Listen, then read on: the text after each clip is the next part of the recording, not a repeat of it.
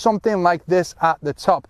So if the pressure or the mass gets whatever we, whatever we want to call it, we'll keep it simply, we'll call it pressure for today, gets too early into the right side, we run out of places to go and we end up moving this way a little bit too early with the top half.